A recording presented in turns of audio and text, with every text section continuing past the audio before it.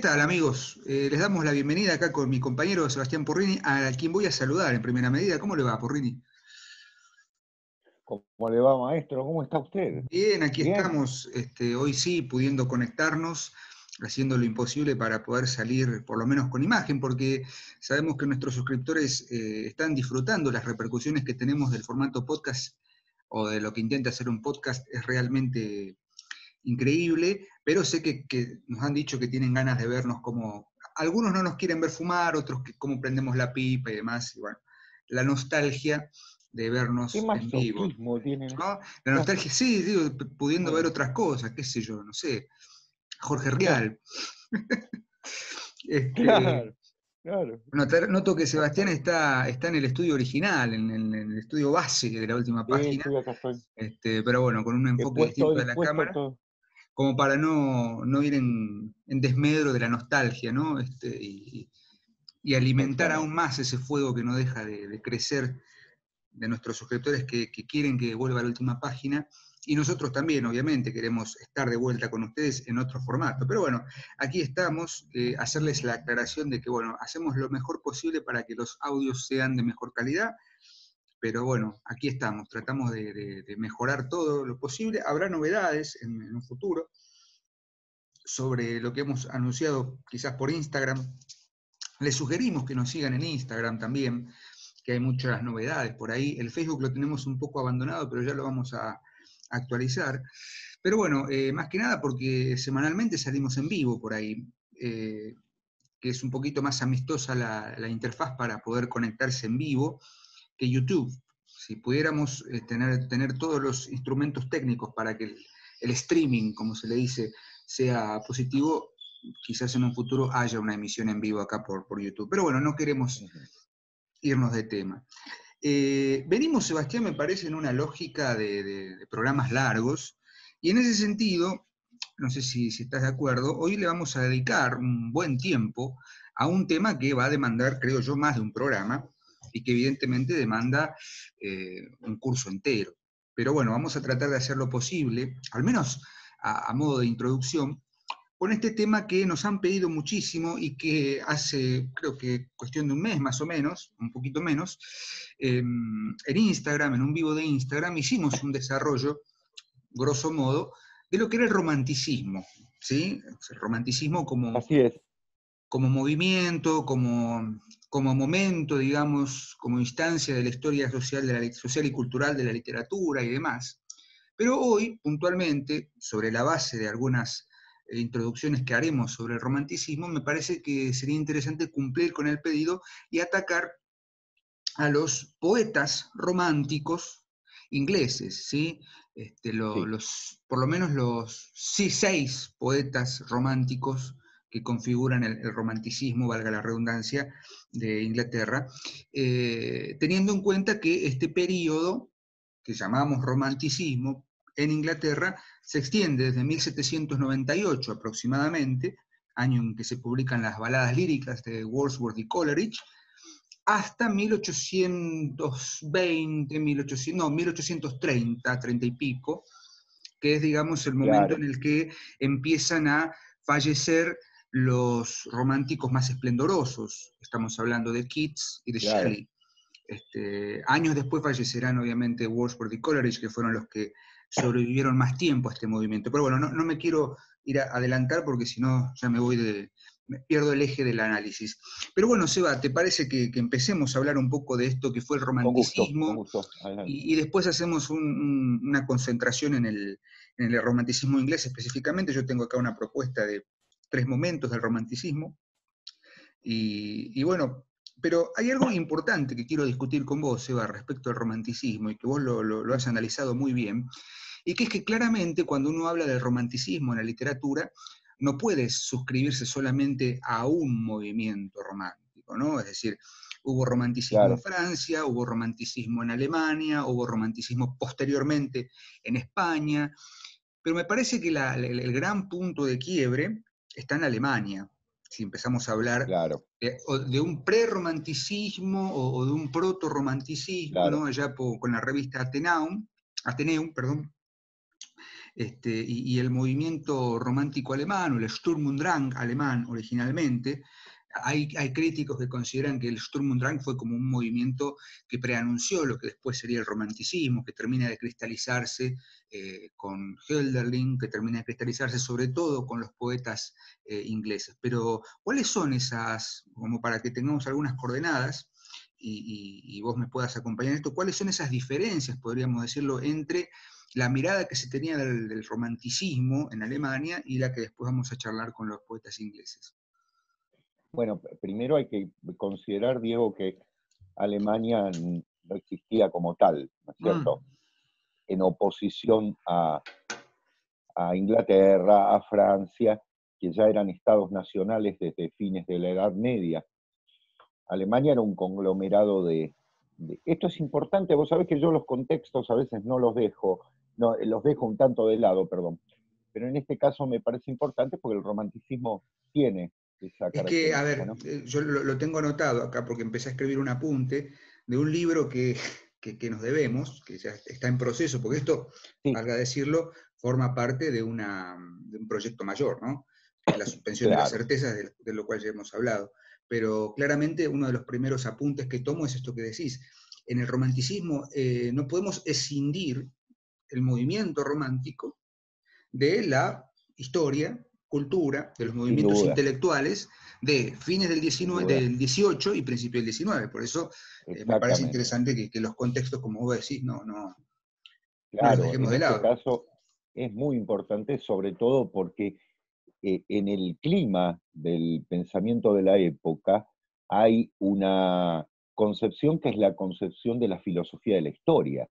Es decir, si nos ponemos más en si se quiere, esenciales en este sentido. Eh, en el romanticismo uno puede decir que eh, toma la bandera la historia, ¿no es cierto? Eh, así ellos quieran este, volver al pasado, haya un cierto canto al medievalismo, pero que también vamos a discutir. ¿no? Pero volviendo a lo que vos me preguntabas, Alemania.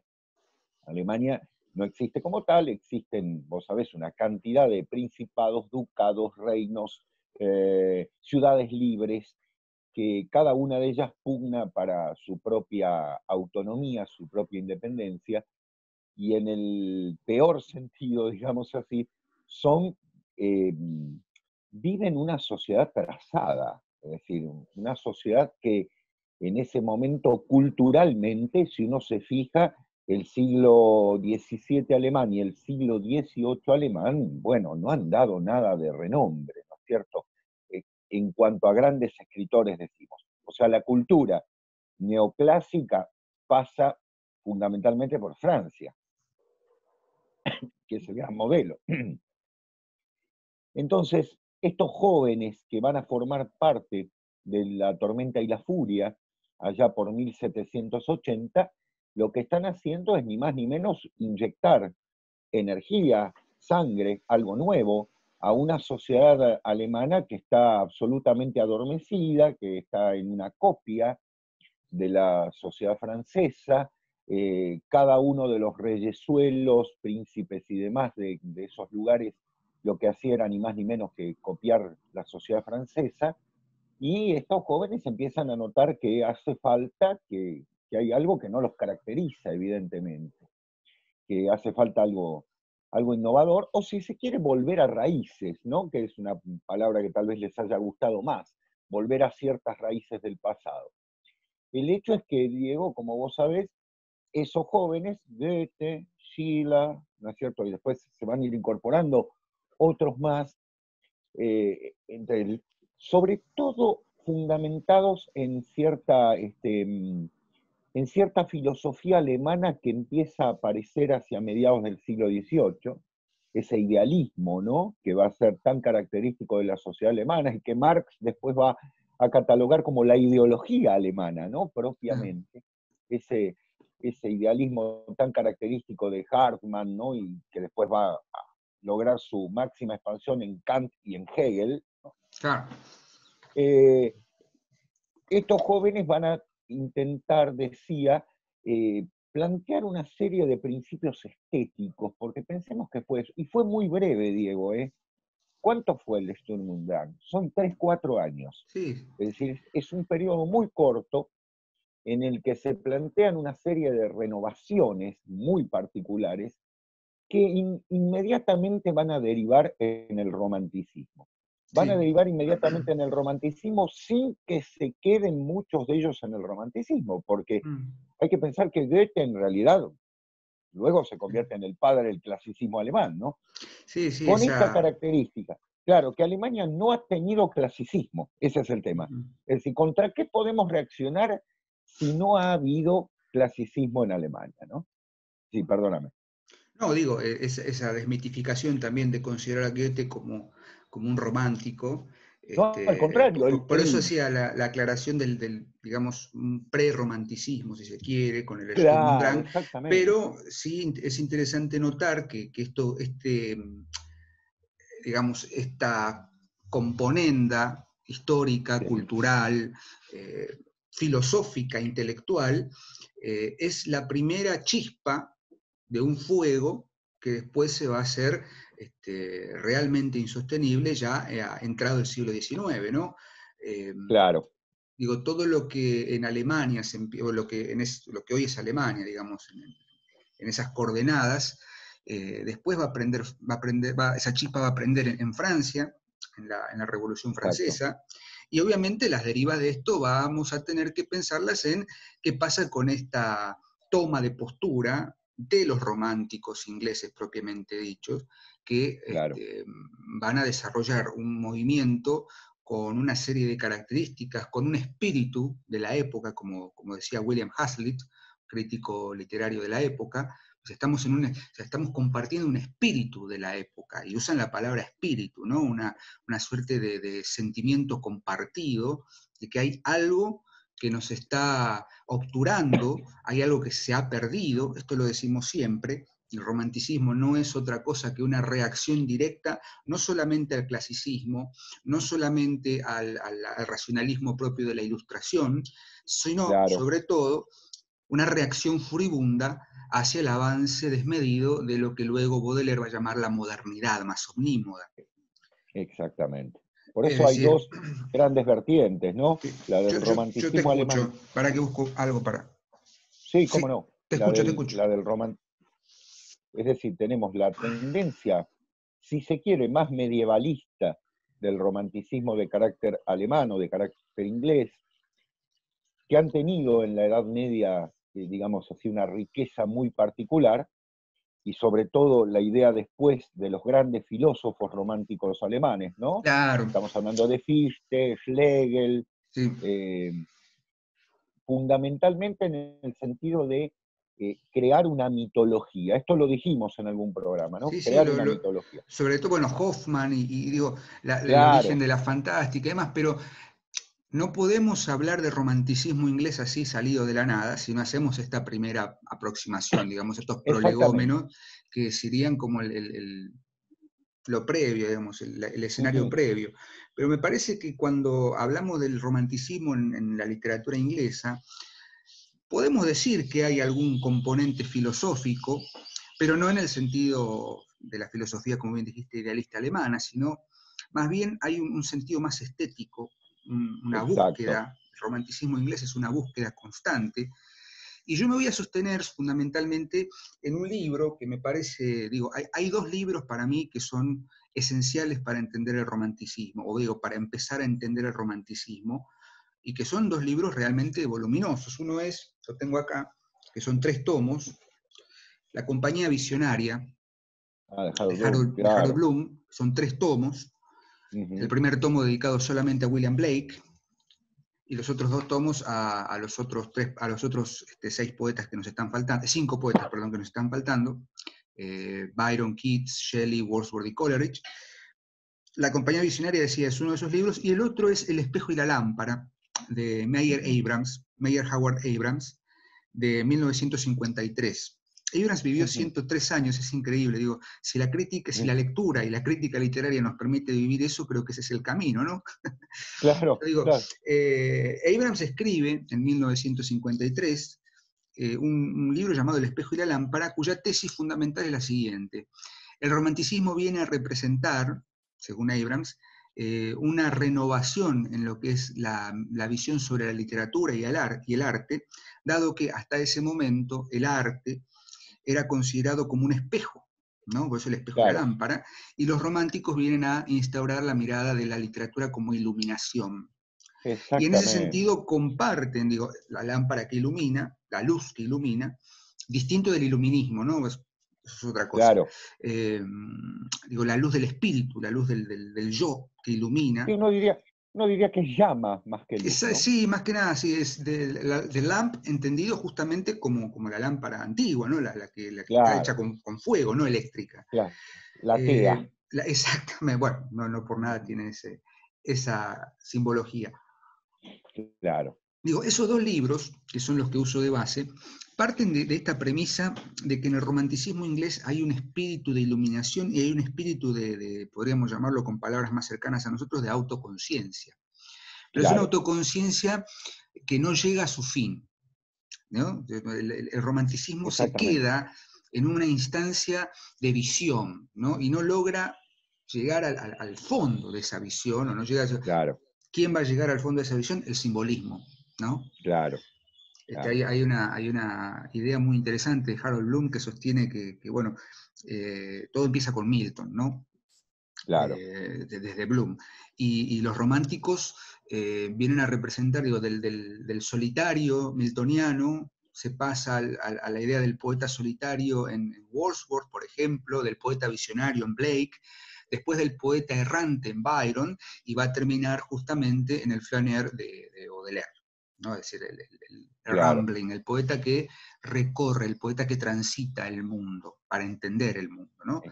Es una, idea muy interesante, el, wanderer, que después Yeats lo va a llevar a su máxima expresión con los, eh, el errante Angus, The Wandering Angus, The Wanderings of Oisin, ¿no? las aventuras o los, la errancia de Oisin, que, tiene que ver también con temas como el Caminante, ¿no? El caminante, exactamente, el, que transita el mundo. Estoy pensando, Diego, en, la serie de líder de Schubert, ¿no?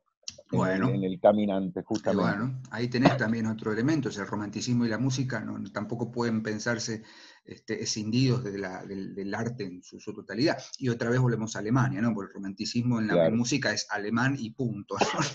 No, creo que haya otra expresión más completa que el romanticismo alemán los alemanes, después de los griegos, hicieron muchas cosas interesantes. Otras no tantas, pero bueno, no vamos a meternos en camisa de once varas por las dudas. No, no, no, por supuesto. Pero digo, sostenidos en esta idea del, romanticismo inglés como, como una renovación y, obviamente como una suerte de reacción en contra del, avance de la, ilustración y de la modernidad, eh, seguimos con esta idea de que contextualmente hay algo que no podemos evitar, y es que el romanticismo surge en Inglaterra en, una suerte de eh, coordenadas históricas, culturales, sociales, políticas y religiosas, religiosas, porque acá viene, ya empezamos a meternos en, tema, eh, que está sostenida en tres grandes revoluciones.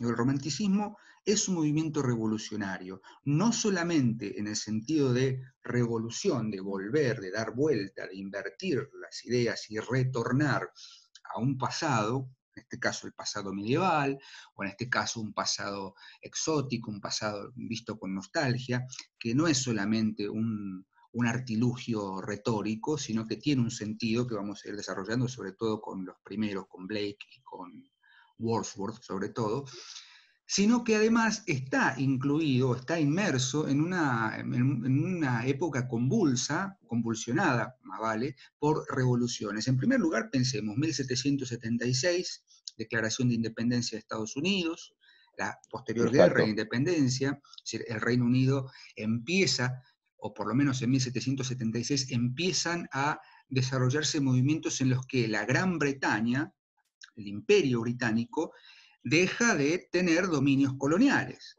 Ahí empezará todo lo que después viene en Europa, ¿no? las guerras de independencia en América, en Asia, etc. Exacto. Llevó casi un siglo de, guerras. Pero empieza todo con la Declaración de Independencia de 1776 en Estados Unidos. Después tenemos, obviamente, antes, eh, no, posteriormente 1789, la caída de la Bastilla y el, digamos, el inicio formal de lo que sería la Revolución Francesa, y con eso todo lo que viene de ella, ¿no?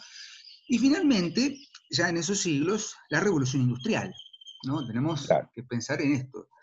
Y es en ese periodo, digamos, de fines del siglo XVIII y principios del XIX, entrada a la primera mitad del siglo XIX, que surge una renovación que no es positiva desde nuestro punto de vista, que es el cambio absoluto del mundo europeo.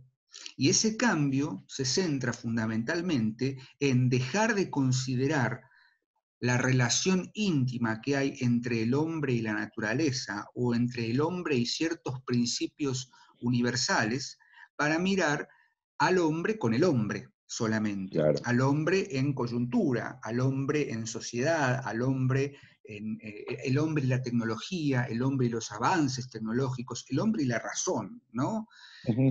el cambio de paradigma que viven los poetas, los artistas, está fundado en estas revoluciones o estas revoluciones que cambian literalmente el orden de existencia del mundo. Voy a citar hasta el cansancio. ¿no? Exacto. Cito hasta el cansancio la gran apertura de los Juegos Olímpicos del 2012. Si ustedes ven esa apertura que se, que se hizo en los Juegos Olímpicos de Londres 2012, y ven los minutos, los primeros 20 minutos de esa apertura, van a entender, ¿no? Hecho, obviamente, salvando las distancias, pleno siglo XXI, con toda la tecnología que, eso lo caracteriza, paradójicamente, van a ver que hay un claro pasaje de la campiña inglesa, de un ambiente casi bucólico, a de pronto algo que surge de la tierra, ¿no? que son las chimeneas. William Blake, por ejemplo, considerado padre del romanticismo, fundador, qué sé yo, del, romanticismo, aunque podríamos discutirlo, eh, vive en, en su vida, digamos, el paso literalmente de un mundo en el que se podía respirar aire puro, porque todavía estaba presente esa mirada más, eh, no quiero decir campesina, pero sí más naturalista, si se quiere, más asociada con los espacios naturales, a de pronto ver el, humo y las chimeneas en las fábricas que empiezan a, levantarse en, la Londres industrializada. Y cómo, hay un libro muy interesante, La Era de las Revoluciones, no me acuerdo ahora el, apellido, Williamson me parece, eh, que, que explica justamente cómo ciertas por ejemplo, antes, antes de la revolución industrial, el, esquilador, quien esquilaba ovejas, vendía ¿no? su lana, qué sé yo, y ahora de pronto ese proceso que era un mano a mano, que era un trabajo artesanal, empieza como a producirse masivamente, a tecnificarse. hay un cambio de paradigma. Y Blake lo vive, lo viven también estos, estos poetas que estamos diciendo. los casos de, de, de Wordsworth, College, nacen en esa época y viven grandiosamente en ese momento histórico. Entonces, primera cuestión que tenemos que tener en cuenta es ese cambio de paradigma. Y ahí es donde el arte, me parece, Seba, que coincidirás conmigo, empieza a desarrollarse como no solamente una reacción intelectual, estética, política, sino religiosa. Digo, la necesidad de plantearse una religión, porque, y sigo en esto a Bloom, una de las, o sea, si bien Inglaterra no tuvo revoluciones políticas como las tuvo Francia o la tuvieron las colonias, en el sentido, digamos, más bien político, sí tuvo grandes revoluciones religiosas, entre ellas el protestantismo, ¿no? El, gran, el, gran, se dice Bloom, ¿no? El, gran logro revolucionario inglés fue la revolución del, del, protestantismo y del puritanismo. Claro. Y en ese sentido tenemos que pensar también que hay una necesidad de recuperar ciertos elementos que, se han perdido, se ha perdido la naturaleza, como bien decíamos, y se ha perdido la religión, se ha perdido la esencia, digamos, ecuménica de una religión trascendente. Y ahí es donde empieza la the quest of romantic, ¿no? la, lucha de los románticos, o Mira, Diego, la causa romántica. Sí. Si me permitís, eh, creo que ha, sido al hueso, ¿no? Eh, eh, Totalmente. perfecto. Totalmente. Yo creo que ahí está, ¿no? Es decir, tanto en Alemania como en Inglaterra, y nos vamos a centrar en Inglaterra, al generarse eh, un divorcio, si se permite, entre eh, el arte y la religión, porque vos pensás que el arte de, ¿cómo decirlo? El arte figurativo desaparece de los templos, ¿no? merced a la idea de que eh, toda imagen va en contra de la, de la concepción cristiana puritana, perdón, por la cual es imposible figurar, ¿no? Es imposible hacer representación de las imágenes divinas y sobre todo de toda la, la imaginería cristiana, bueno, es increíble que los románticos, que muchos de ellos no pasaron por ser católicos, sino al contrario, siguieron siendo lo que eran, fundan una religión del arte, ¿no es cierto? Es decir, en algún lugar tiene que quedar la imaginería, si se me permite el término, que recuperan para el arte. O sea, ya que lo sacamos de las iglesias, lo vamos a meter, así brutalmente lo digo, lo vamos a meter en la, en la literatura, en la composición, incluso hasta en la música, ¿no es cierto?, donde reaparece la mitología. Por eso una filosofía de la mitología para generar una religión. Está muy bien lo que estás diciendo, exactamente. Uno ve los dibujos de William Blake y realmente, claro, William Blake está recuperando la imaginería medieval. Exactamente. Claro, el dios creador. El, primer tomo y el dragón, no sé si lo ves. Sí, el dragón en el tomo 3. Exactamente. Entonces, Blake.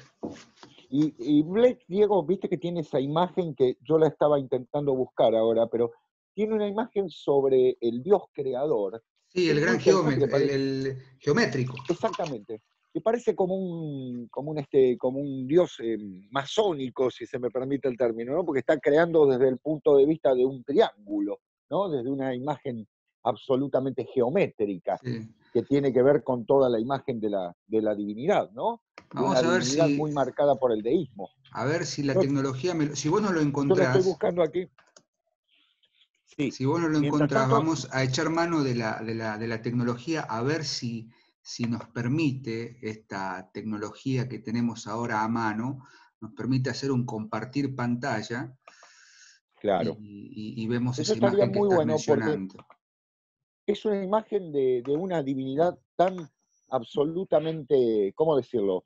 Eh, personal, si se quiere, porque es una imagen de un Dios, si bien tradicional, absolutamente personal. Claro, ahí está, ahí está. Ahí está, bien, vamos, vamos, una buena de la tecnología. muy bien, Diego, muy bien, una maravilla. Una maravilla, exactamente. Ese es un grabado de Blake. Claro, exacto.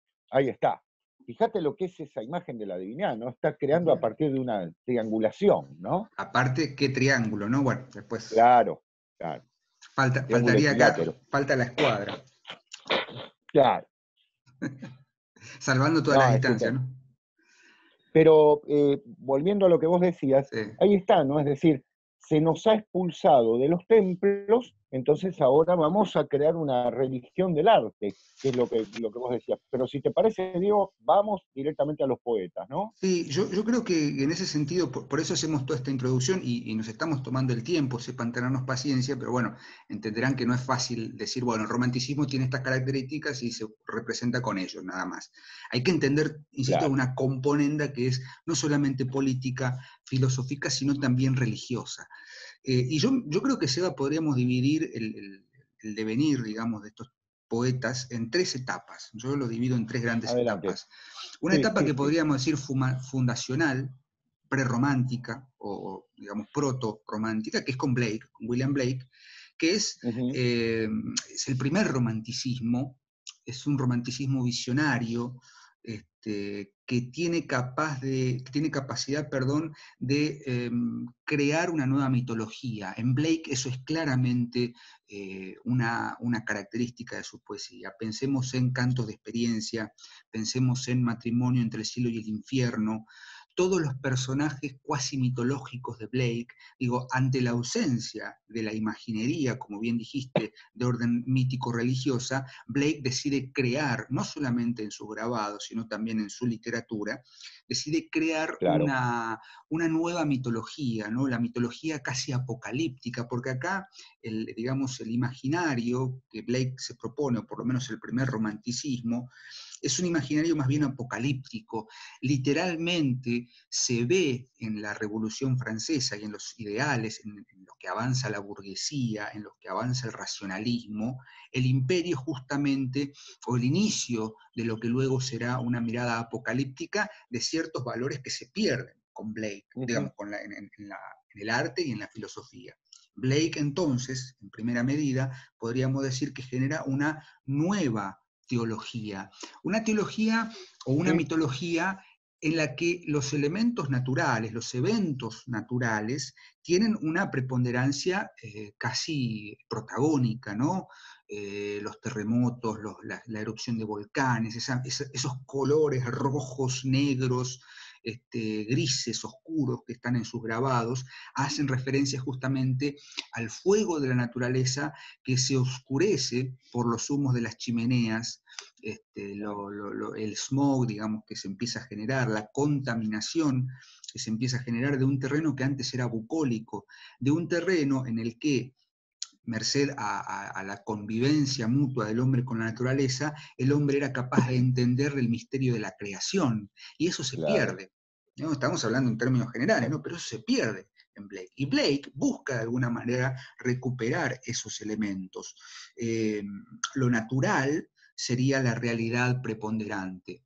Después esto va a tener una, fuerte impronta con los eh, trascendentalistas norteamericanos.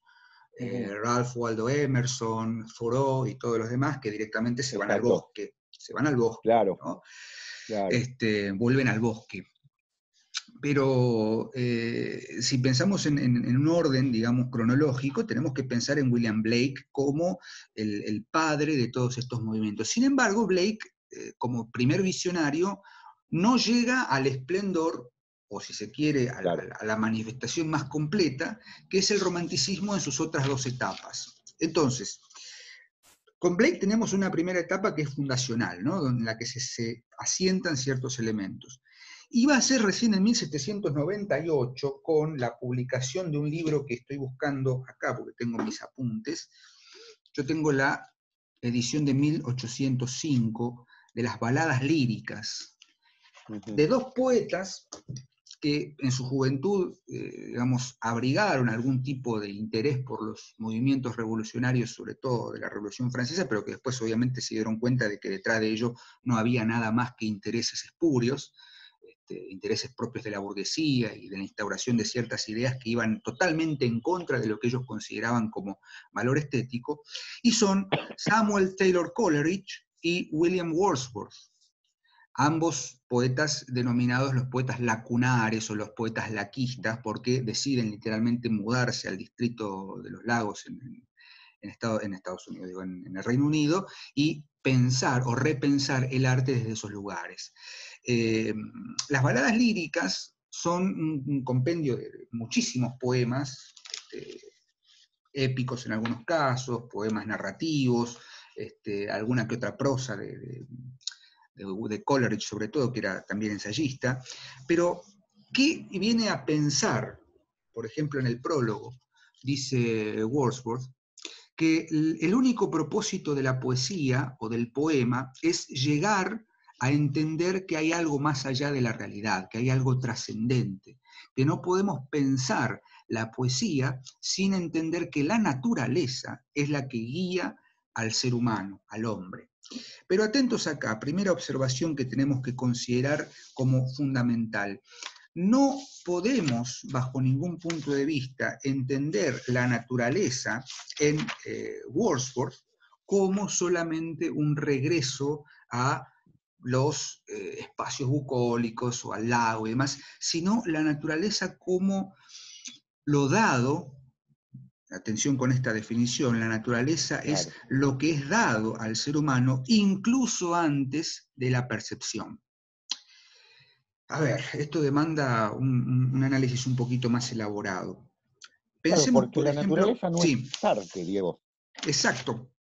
Es decir, ellos, eh, ellos o cualquier artista, evidentemente, y fue el gran debate que después dio Hegel, ¿no? Con su estética, hay que recordar que Hegel no escribió una poética, escribió una estética, en el que justamente se plantea eh, eh, y ya desde la crítica del juicio de Kant, ¿no? Había toda una eh, disquisición en torno de qué es el arte. Bueno, el arte como artificio es evidentemente la vereda opuesta de la naturaleza. Entonces, adoramos la naturaleza, pero eh, hacemos arte, o sea, a la vez hacemos un producto fáctico, que no es un producto natural. O sea, la eh, naturaleza, eh, nos queremos parecer, pero a la vez estamos haciendo algo que es producto de, la mano humana, ¿no? Cuando la naturaleza es producto de la mano divina, si se quiere. Pues fíjate que esto después va a estar manifestado en, la fantástica, ¿no? En, Alemania es mm. mucho más claro, y, después cuando hablemos un poco de Shelley, y sobre todo de Mary Shelley, de quien ya hemos hablado, pero está esto que decís, eh, cuando se publica Frankenstein en 1818 y posteriormente el Prometeo desencadenado de, Percy Shelley, eh, hago un excurso, ¿no? me adelanto un poco cronológicamente, eh, tenemos manifestado esto de los peligros que acechan detrás de la forma orgánica y de la forma mecánica. Una gran discusión que se da entre Coleridge y creo que Schlegel eh, por esos tiempos, 1816 más o menos. Pero cuando, cuando pensamos en la naturaleza como lo dado a los sentidos antes de la percepción, ¿sí? tenemos que pensar que toda la poesía de Wordsworth, sobre todo la, poesía madura de Wordsworth, la que está hacia los primeros años de 1800 y 1800 y pico, después de las baladas líricas, tiene como centro la mirada de la naturaleza como un alivio. La naturaleza trae alivio, la naturaleza trae eh, una, un retorno a la esencia natural del hombre. Voy a citar los primeros versos del Preludio, uno de los poemas más conocidos de Wordsworth. Podría citar este, otros poemas, podría citar, por ejemplo, poemas de las baladas líricas, pero creo que el preludio, de, voy a citar dos poemas. Empieza de la siguiente manera, Oh, there is a blessing in, the gentle, in this gentle breeze that blows from the green fields and from the clouds and from the sky. It beats against my cheek and seems half conscious of the joy it gives. Dice, hay un, una brisa bendecida, gentil, que sopla sobre los campos verdes y sobre las nubes, y desde el cielo golpea mis mejillas y parece la mitad de la conciencia de la alegría que ella da. ¿no? Se empieza el preludio con un canto a la naturaleza, pero sobre todo a un viento. No olvidemos que después la palabra viento, de breeze, la brisa, hace referencia en realidad simbólicamente al aliento vital. Espíritu al spiritus. Y más adelante, en el preludio, dice, for, for I, methought while the sweet breath of heaven was blowing on my body, fell within a corresponding mild creative breeze, a vital breeze which traveled gently on over things which it had made at its become a tempest, a redundant energy vexing its own creation. Es decir, por eso yo pienso que mientras el suave aliento de los cielos, the sweet breath of heaven, estaba soplando en mi cuerpo, sentí dentro una brisa creativa, suave, una brisa vital que, eh, viajaba gentilmente sobre todas las cosas que yo había hecho y se había convertido en una tempestad and is become a tempest, a redundant energy vexing its own creation. Es decir, una energía redundante, vexing es como este, uniendo su propia creación. Y esta, este paso de del viento, ¿no? de la brisa de, primaveral, otoñal, que sopla, la, que se convierte en una tempestad, fíjate, con elementos naturales, simbólicamente hay que pensarlo como justamente hay algo que se está sacudiendo, ¿no? Hay algo que está llevando una brisa suave a una tempestad, palabra que después obviamente podemos eh, retomar largamente recordando la tempestad de Shakespeare, ¿no? Claro, claro, claro. Y, y, cito... Te digo que, no, eh, una perlita para, agregar a, a lo que vos estás diciendo. Cómo el ser humano a lo largo de la historia del arte o de, si se quiere más ampliamente, de la historia de la humanidad, ha sentido en, distintos momentos eh, la pulsión de regresar a la naturaleza, ¿no es cierto? Y cómo ya en la antigüedad estaba esto. Abro un paréntesis y te dejo volver porque no, no quiero alejarme, pero solamente para hacer un paralelo. Uno diría, bueno, entonces en la antigüedad los hombres los seres humanos ya estaban en contacto con la naturaleza perfectamente y demás. Vos fíjate y lo recordarás que las églogas de Virgilio, mirá dónde me fui, las églogas de Virgilio no hacen ni más ni menos que, entre otras cosas, porque es un solo nivel, ¿no? No hace más en, otra, en otro sentido que llamar al hombre a un retorno a la naturaleza. Por supuesto que hay seten... ¿Qué? Sí, sí, sí. sí, sí, Que, que esa, ese retorno a la naturaleza que está pidiendo Virgilio, ¿no? Tiene dos facetas. Fíjate vos cómo se puede, volviendo a este chico que escribe muy bien, como diría Borges, ¿no? Hay un pibe nuevo que escribe muy bien. Ah, hay un Virgilio que promete, ¿no? hay un Virgilio que promete, claro, que en las bucólicas, son las también conocidas como églogas, eh, Virgilio hace un retorno a la naturaleza porque el, romano ha vivido también un alejamiento de la naturaleza en el siglo I, ¿no? Y luego el, segundo plan se llama como geórgicas, que son qué, ni más ni menos las geórgicas. Te enseño a laborar la tierra, es decir, hay que volver a la tierra. Bueno, ahí está el plan de Augusto, ¿no? Por supuesto. Después de las guerras civiles hay que... Ahí estamos mostrando algo, yo no... Estoy mostrando los poemas seleccionados de, Wordsworth. No sé si se va a leer. Voy a tratar de acercarlo nomás. Eh. Pablo Maggiorem Canamus. Claro. Es el epígrafe ahí está. de una oda de, Wordsworth, que no tiene título, es una oda, y se la, suele, se la suele citar con el primer verso, There was a time, había un tiempo. There was a time when meadow, grove and stream, the earth and every common sight, to me did seem apparelled in celestial light.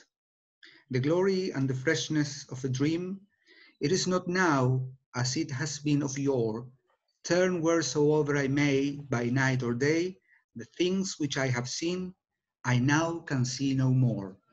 Hubo un tiempo en el que las colinas, los lagos y las aguas, la tierra y toda vista común me parecían apparelled, ¿no? Como de consumo, ¿eh? este, juntas, apparelled in celestial light, ¿no? En relación con la luz celestial.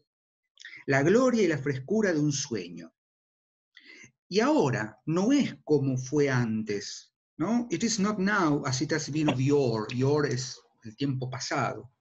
Sea, sea, para mí, parece, pareciera ser que todo se ha vuelto del día a la noche, como algo que no se ve. Las cosas que yo podía ver, ahora no las puedo ver más. Así empieza la oda y cita a, Virgilio, la égloga cuarta. ¿no? Pablo Mayora Canamos, es el cantemo más o menos traduciendo así en un latín, mi pobre latín, y dice, cantemos ahora a cosas más elevadas.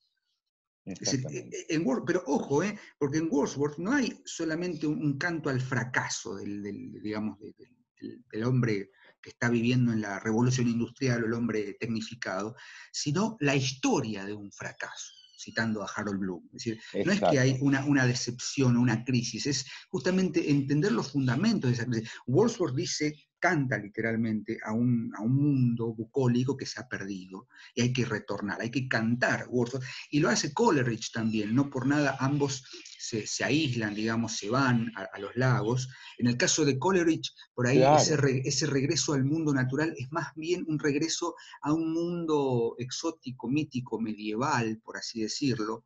Eh, cito por poner por caso las rimas del viejo marinero, The Rhymes of Ancient Mariner, que es un relato este, fantástico, una, prosa, eh, perdón, un poema narrativo en el que se cuenta, digamos, una historia bastante gótica, bastante tétrica sobre un marinero que, está condenado a repetir una historia porque este, ha matado a un albatros en un, viaje en barco, y, esa violación de la naturaleza, sobre todo en el albatros, que va a ser caro a la simbología de Baudelaire después, eh, lleva consigo una, algo terrible. ¿no? En, Coleridge, a diferencia de Wordsworth, hay una operación más literaria, ¿no? hay, hay unos dispositivos literarios un poquito más elaborados. Wordsworth es un canto al retorno a la naturaleza. pero la naturaleza como una alianza previa entre el hombre y lo sagrado, por así decirlo. Entiéndase esto fuera del catolicismo, fuera del protestantismo, es algo trascendente, ¿no? En Coleridge, tanto en, en las rimas del viejo marinero como en Kubla Khan, que directamente hay una visión Qué maravilla. Influido por la, qué sé yo, por, la, por el opio y demás, que eso es anecdótico. Entonces el relato es que, bueno, eh, Coleridge estaba soñando y soñó una visión. Una visión. Hablemos después de la visión y del sueño, con, una visión, sobre todo.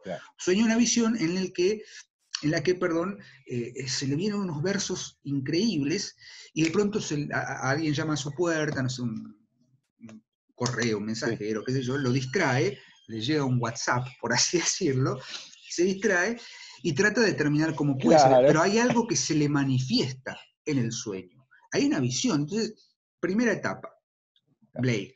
Segunda etapa, digamos, los fundamentos del romanticismo. Estos, estos poetas, sobre todo Coleridge y Wordsworth, empiezan como a desarrollar una idea de poesía que tiene que ser estrictamente, primero, un trabajo sobre el lenguaje obviamente, crear un lenguaje que recupere simbólicamente esos elementos de la naturaleza y esos elementos de un periodo, la Edad Media, por ejemplo, es uno de los lugares comunes que se suelen citar al hablar del romanticismo, ¿no? la recuperación de la Edad Media, el romance, por eso el romanticismo, este, e, eso se da, digamos, en el segundo periodo, que son los que se podrían resumir en Wordsworth y Coleridge como los fundamentos del romanticismo. Pero como ya estamos avanzados en el tiempo, vayamos a la tercera etapa que me parece la más rica o la más potente, que es justamente el esplendor del romanticismo que se da con los tres últimos poetas que, paradójicamente, yo lo tengo acá anotado porque me, llamó mucho la atención,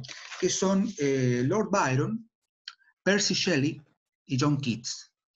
A diferencia de Blake y de Wordsworth y Coleridge, estos poetas se caracterizan por dos eh, elementos fundamentales. La poca vida que tuvieron, pensemos que Byron murió a los 36 años, Shelley a los 32 y Keats a los 26.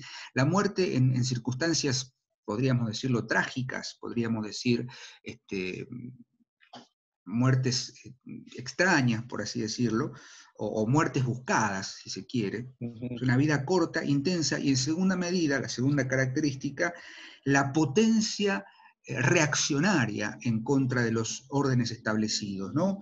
Eh, Byron, Shelley y Keats me parece que representan el prototipo o el paradigma del poeta romántico que lleva la visión, que empieza en Blake, que se cristaliza en Wordsworth y en Coleridge, la llevan a un punto de arte puro, de estética y de lenguaje puro.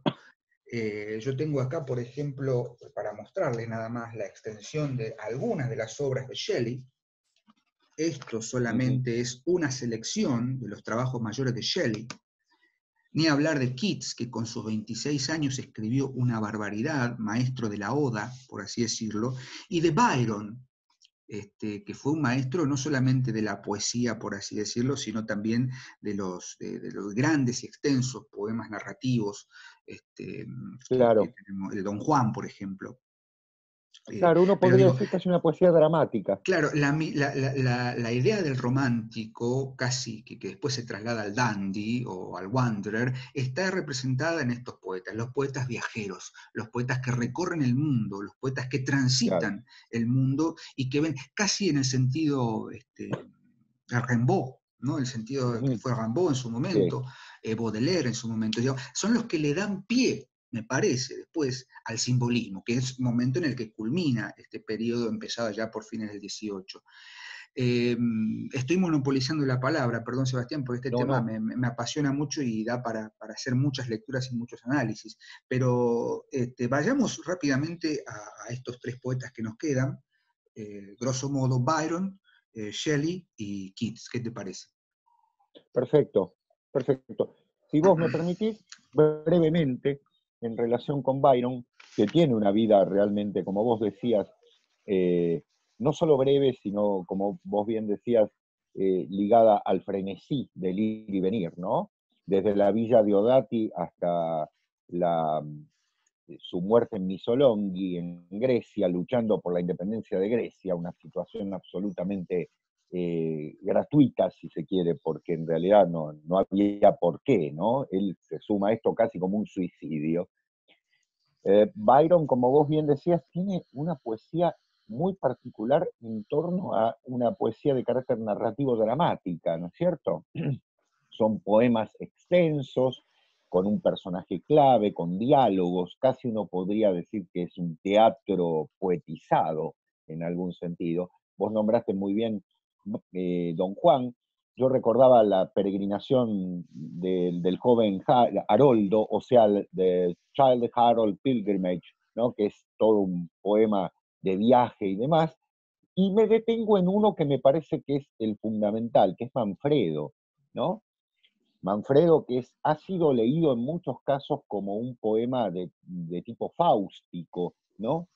Eh, casi con la influencia clara del primer Fausto de Goethe, pero con una característica. Manfredo es un personaje mucho más oscuro que Fausto en algún sentido, porque está hablando de fuerzas muertas, de espíritus que se le aparecen, mm. de una hermana que se llama Astarte, ¿no es cierto? Es decir, hay todo un movimiento en relación con las fuerzas del espíritu más oscuras que llevan a que este personaje clave, encerrado en una torre, justamente, ¿no? Ahí está, ahí tenés para, para tirar manteca al techo. Claro, claro, exactamente, porque yo pensaba recién en algo clave, Diego, que vos dijiste que fue la idea de los poetas lacunares o laquistas, o fíjate que son los primeros que en la modernidad, ¿no? Los primeros que se van a eh, encerrar en la Torre de Marfil, por decirlo con una terminología este, conocida desde el punto de vista literario.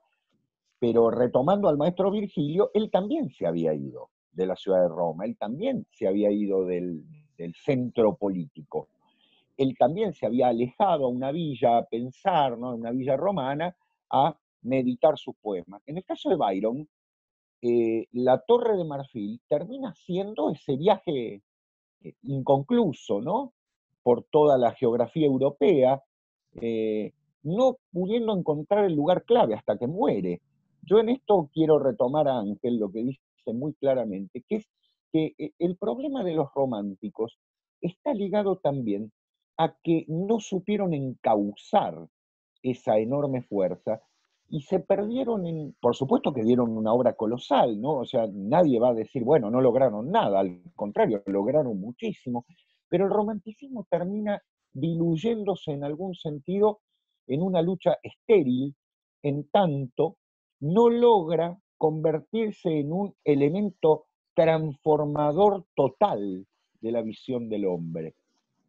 ¿Por qué? Porque en el fondo lo que persiste es un cierto, si se me permite, pesimismo en relación a la sociedad que hace que los aleje, que los encierre y que termine en esta idea del poeta en la torre de marfil. Eh, sin embargo, esto parecería contradictorio porque Byron va a dar su vida para la independencia de Grecia, no obstante es, es un hecho gratuito, ¿no? porque en realidad él está entregándose a una lucha absolutamente inútil. No es un hombre de guerra, de ninguna manera, es un hombre de palabras. Y en este sentido el romanticismo parece no haber encontrado el, ¿cómo decirlo?, el cauce para poder llevar adelante toda esa energía para frenar y transformar, frenar el avance del industrialismo, transformar al ser humano hacia, un, hacia una espiritualidad mucho mayor, mucho más allá del arte. Eh, parece haberse quedado en eso, no parece haberse quedado en un, momento, en una moda. Que está bien que eh, eh, el arte tal vez no tenga que transformar la sociedad, por supuesto, pero que los lleva inevitablemente, y vos lo dijiste, estos tres poetas, ¿no? Los tres últimos, Shelley, ¿no? Keats y Byron, terminan muriendo muy jóvenes y siendo el epítome de una de un suicidio, digamos así, si se quiere, al que están entregados los artistas, cuando el artista en realidad es, para la visión tradicional, no solo el hombre que está enraizado en la, en la tradición, sino que está enraizado en su comunidad. No debe quedar alejado de la comunidad, sino inserto en la comunidad. Por eso me parece interesante lo que dice Ángel, ¿no? esa vuelta de tuerca que fue en el siglo XX cierto cine, ¿no? Que bueno, ahora sería muy Una recuperación. Digo, eh, me parece fabuloso lo que decís, porque uno lee a los románticos y uno dice, bueno, ¿qué, hay que, hay que entrarle a los románticos, uno puede decir, bueno, entrado el siglo XXI, hoy, ¿qué, qué nos queda romántico? Creo que el romanticismo fue uno de los grandes movimientos que sentó las bases para lo que después sería la explosión de la poesía entendida como arte supremo. Eh, por eso decíamos que digo, esos 100 años de, esplendor de, la, literatura y los dioses mencionada por Calazo eh, van a culminar justamente en el la explosión del simbolismo. Creo que esa vuelta de tuerca que no dieron los románticos, eh, la dieron los, simbolistas. Eh, recuerdo que allá por el año 2013, creo, cuando recién empezaba la asociación, me tocó dictar un, dictar, preparé un curso sobre justamente estos seis poetas llamado la, Revolución Oculta. Pasados los años yo cambiaría el título de ese seminario y lo pensaríamos la revolución inconclusa más que oculta. Oculta porque obviamente no llegaron al, esplendor, si bien eh, revolución en tanto que era un periodo revolucionario, no llegaron a la revolución total, ¿no? Porque se quedaron a mitad de, no, a mitad de camino, me parece que el título, la compañía visionaria de Harold Bloom en ese sentido, o, el espejo y la lámpara, que fue lo que citábamos al principio, es la síntesis de lo que fueron, fueron grandes iluminadores del camino. Dijeron, es por acá, muchachos, es por acá. Eh, nosotros no es por acá, pero eh, estamos tan inmersos en, el fragor de, la reacción, en el fragor del arte, de la, autoconciencia, o de la conciencia de sí mismo, no sé si de la autoconciencia, de la conciencia del sí mismo como artista, y nos quedamos ahí, en ese solipsismo. Después Harold Bloom en el, epílogo de su libro lo dice muy claramente, eh, el gran error de la poesía moderna es quedarse con el solipsismo del romanticismo. Y, digamos, la autorreferencialidad y ya, eso es, eso es basura, básicamente. El yo, del yo, del yo lírico, estas pelotudes que se dicen. Exactamente. Eh, casi como a boca de jarro, ¿no? Que el román del yo poético, qué sé yo, qué sé cuánto. digo, me parece que es mucho más profundo. Pero como bien decíamos, eh, tanto Shelley, Keats como Byron son la manifestación de esto de quedar a mitad de camino. Vos fíjate que, por ejemplo, eh, la extensísima obra de Shelley, digo, podríamos citar muchísimos, pero siempre cito el Prometeo desencadenado. hay algo ahí, en esa famosa reunión en la Villa Diodati, que después deriva en la escritura de Frankenstein por parte de Mary Shelley, y en la escritura del Prometeo desencadenado, la publicación en 1820, que es literalmente la continuación de la, mitología, del, mito, del mitologema de Prometeo, la caída de los titanes, ¿no? toda la simbología del romanticismo es muy interesante, ¿no? esta, idea del, titanismo romántico. El titanismo, claro. No, quiero desarrollar ahora en extenso, pero digo, la figura prometeica como la figura que se revela ¿no? y que tiene que desencadenarse, y esta cosa de... Pero bueno, queda en ese espacio de la visión. Quedará obviamente en, en manos del lector y de quien los lea profundamente. La idea de esta introducción es justamente llevarlos a eso, llegar a una comprensión cabal de esto. Eh, por ejemplo, eh, las ideas ya pensadas en, Shelley sobre la mutabilidad, cito el poema Mutability de, Shelley, todo es lo mismo, dice, sea en alegría o en tristeza, el camino es, el camino de su partida todavía es la libertad. El hombre de ayer quizás nunca sea como su mañana, y tan, pero lo que siempre durará es la mutabilidad, el movimiento, ¿no? Mutability con mayúsculas. ¿eh? Este, not may endure but mutability. Nada perdurará, solo la mutabilidad. Y esa potencia, digamos, casi filosófica, sin ser filósofo, es una de, los, eh, de las herencias del, romanticismo. Pero me gustaría cerrar, porque ya me parece que estamos aburriendo al, espectador porque se nos fue el tiempo, eh, me gustaría cerrar con Keats. John Keats, eh, y, como decía antes, el maestro de la Oda, como para terminar de entender este camino que va desde la visión, desde la cristalización hasta su esplendor de mirar algo que nos trasciende. Y voy a citar, obviamente, la Oda a un ruiseñor de John Keats, ah, que empieza con, con tres golpes. My heart aches, mi corazón duele, hay algo que duele en mi corazón ¿sí? Y lo voy a citar rápidamente acá, lo tengo acá este, señalado. My heart aches and a drowsy numbness pains, my sense as though of hemlock I had drunk, or emptied some dull opiate to the drains. mi corazón duele y una numbness es como un mareo, ¿no? un mareo profundo, me hace sentir dolor, mis sentidos como si hubiera bebido una pócima, se han vaciado. Una náusea. Una náusea, perdón, este, se han vaciado en, drenajes opiáceos, ¿no? Como que está poseído por algo que no... no como, como el, aroma o el, digamos, esa náusea, la náusea que le genera este mundo que no sabe comprender, 26 este, años tenía cuando murió Keats, o sea, mira vos, ¿no? Y ya había escrito eh, yo a los 26 años, no sé, estaba en otro mundo. Eh, pero digo, eh, esa idea que después se va a condensar en una, en una maravilla que voy a citar directamente desde, el texto de, Harold Bloom, porque me parece que es mucho más claro, y que es la idea de la ceguera. Porque la, gran imagen de, digamos, del, de Keats es la idea de la ceguera en, la Oda a un ruiseñor, para que la estoy buscando acá como corresponde. Adelante, sí, no, quiero, no quiero ¿viste, decir una cosa por otra. Eh, el, paradigma del poeta ciego dice en un momento la Oda a, un ruiseñor, y lo voy a citar en castellano para no aburrir a, a los espectadores.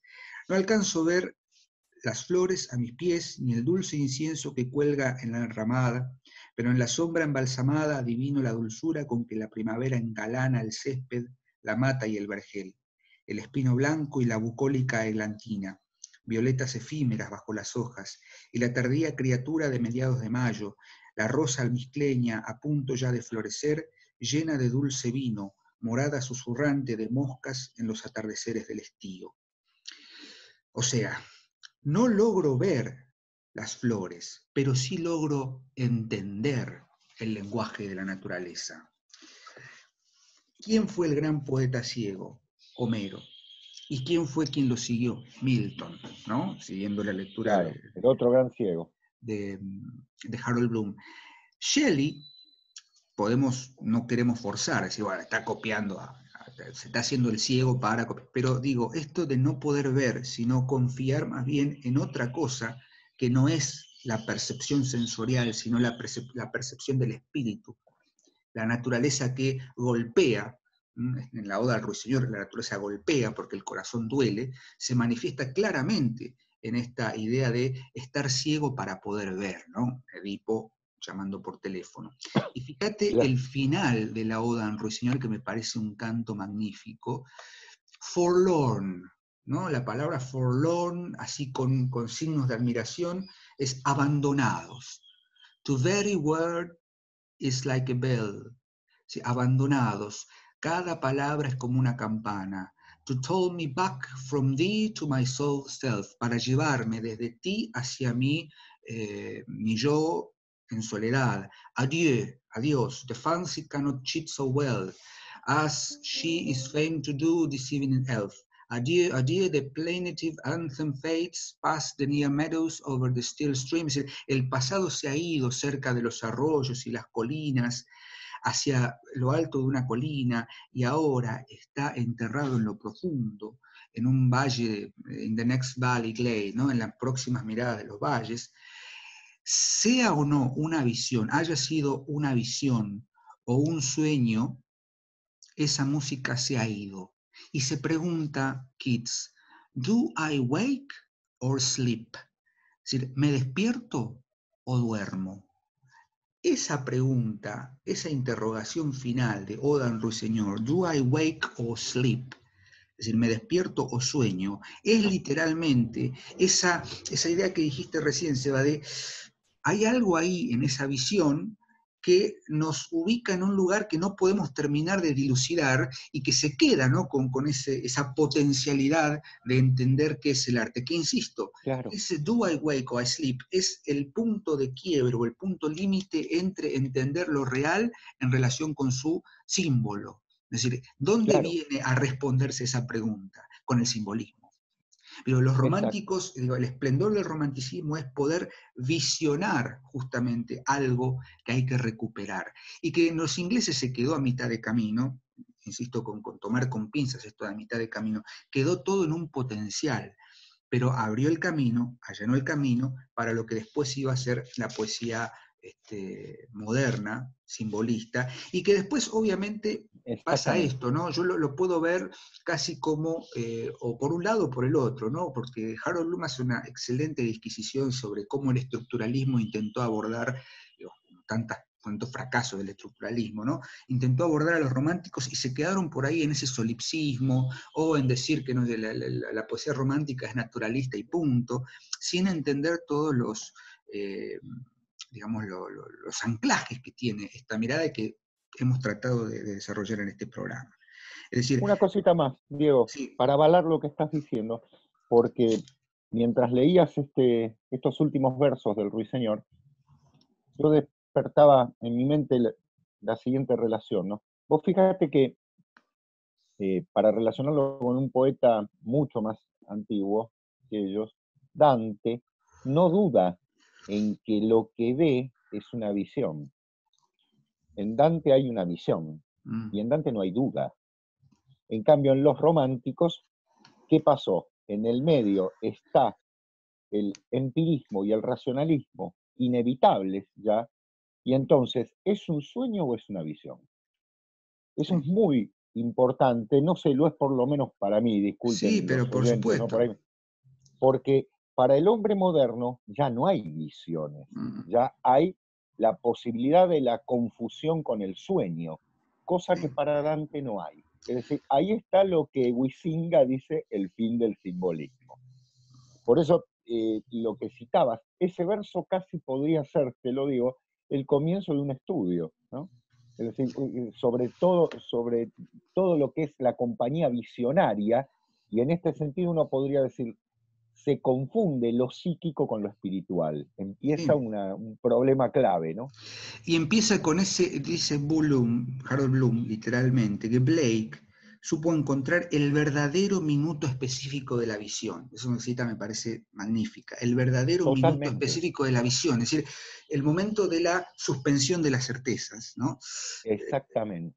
Y quedó detenido en eso, en, visionar, visionar, visionar, visionar. Es, bueno, Doré, Gustave Doré, me parece que ha sabido eh, ilustrar muy bien esto en sus grabados, sobre todo, lo estoy pensando en ese gran grabado de la Divina Comedia que se abre con círculos, ¿no? que la visión de los círculos del infierno, que es magnífica. La contemplación del empirio. Contemplación, ¿no? Eh, digo, supieron ver más allá de lo evidente, suspendiendo certezas, y se quedaron ahí, porque el camino quedó abierto para que después el simbolismo retomara estos elementos y los llevara a una expresión, expresión máxima de lo que es el arte poético. Pero bueno, eh, creo que más que mal que mal hemos tratado de hacer honor a estos poetas, perdón por la, extensión, pero bueno, claramente esto podría desarrollarse en una segunda, tercera parte, pero bueno, queríamos cumplir con el pedido y creo que se va más de una hora estuvimos charlando. Ah, bueno, bueno. Así que bueno, paciencia. Y si llegaron hasta acá, hasta el video, bueno, ahora tienen que depositar 500 dólares a la cuenta de este ADTV para que podamos seguir este, subsistiendo. No, bueno, es un, un chascarrillo. Pero bueno, Seba, creo que, ha sido cumplido el, cometido con, las torpezas que me caracterizan a veces de irme por las ramas, pero... No, por favor. Eh, Digo, si necesitan, podemos después hacer un intercambio, ver por dónde y cómo leer a estos poetas. Digo, empezar por Y, en algún momento por ahí tomándolos de a uno, ¿no? Sí, tomándolos de a uno, haciendo por ahí una selección de qué podemos leer. Yo recomiendo lean la compañía visionaria de Harold Bloom, que ahí van a entender. Obviamente, teniendo en cuenta el, postulado estético y crítico de Bloom, que es siempre este, de un orden este, tradicionalista, sagrado, digamos, eh, con, la, eh, eh, con la hipótesis esencial de las influencias, ¿no? de la anatomía de las influencias. Digamos. Eh, Bloom siempre lee eh, poetas como resultado de sus influencias. Eh, hay mucho más para leer del romanticismo, seguro, pero es un buen libro, es un buen mm, aporte crítico Para, para poder entender, pero vayan y lean a los poetas que se consiguen claramente en sus traducciones y quienes hablen inglés pueden leerlo en, en, confrontación. Pero bueno, se va. Creo que por hoy es suficiente, ya tenemos material para, acompañar a nuestros suscriptores y, seguir leyendo, como decimos siempre. Por supuesto, por mm. supuesto, Diego. Así que bueno, em, los dejamos por hoy y nos volveremos a ver seguramente en algún vivo o en algún podcast o nos escucharemos y como siempre decimos, felices de poder mantener este, este diálogo a la distancia y esperamos pronto volver a encontrarnos en el estudio original de la última página y, seguir pensando y leyendo este, como siempre decimos. Muchas gracias Eva por la paciencia. Y, a vos Diego, a vos, a vos. Y a ustedes gracias también, ¿eh? nos estamos viendo muy pronto. Chao. Adiós, gracias.